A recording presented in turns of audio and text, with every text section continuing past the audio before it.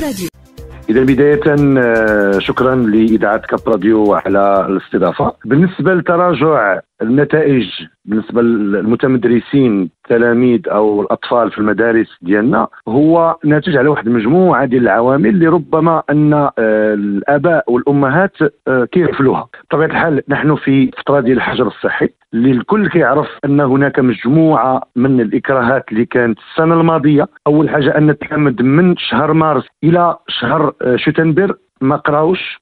يعني. يعني بهذه بهذه العبارة هذه ربما كان هناك تعليم عن بعد بطبيعة الحال في المنازل ديالهم ولكن آه، كانت مجموعة من الإشكالات كان واحد الخوف كان واحد التوتر عند الآباء وعند آه، حتى الوليدات وبالتالي هذه الفترة هذه كانت آه، واحد الفترة اللي هي نسميوها واحد الفجوة ما بين السنة الماضية وهذه السنة دخول تلامذ هذه السنة هذه المؤسسات التعليمية خلى أنهم يتفاجئوا بواحد التعليم بالتناوب اللي ربما يعني ما كانوش عارفين عليه. وبالتالي الولد أو البنت في المنزل ديالو كيجلس واحد الساعات معينة مثلا كيقرأ اليوم في العشية ما غادي يقرأ أو مثلا كيقرأ اليوم في الصباح ما غيقرأ حتى الغدا في العشية. وبالتالي هذا الوقت هذا ربما الأم ديالو معاه ولا ما معاهش. التعليم آه، عن طريق التناوب كيعتمد على الأجهزة الإلكترونية اللي هي ممكن تكون تابلت أو تليفون. آه، التلميذ ما متعودش أنه يستعمل التليفون أو التابلت في المجال الدراسي وبالتالي لما كانتش مع الأم ديالو أو الأب ديالو أو شي واحد اللي موجه فهذا التليفون راكم كتعرفوا أن الطفل غادي يمشي يدخل الألعاب أو أنه يدخل مواقع التواصل الاجتماعي.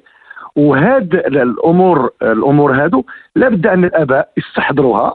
وكذلك بالنسبة للمؤسسات التعليمية أنها توضع بعض الأوقات اللي تكون آه، ممكن التحصيل الدراسي عند الأبناء ويكونوا بمرافقة الآباء أو بمرافقة واحد المجموعه ديال الناس اللي هما كبار اللي ممكن أنهم يواكبوهم. الأمر الأمر الآخر حتى بالنسبة للمؤسسات التعليمية الآن واحد الارتباك. من الارتباك علاش؟ لأن آه، خصنا التباعد خصنا البروتوكول الصحي وبالتالي آه، حتى كثرة الفروض اللي كانت في هذه الدورة هذه مع العلم أن إلا جينا نشوفوا عدد الحصص اللي قراها التلميذ في هذه الدورة هذه هي النصف ديال الحصص اللي كان كيقريها بالطريقة العادية.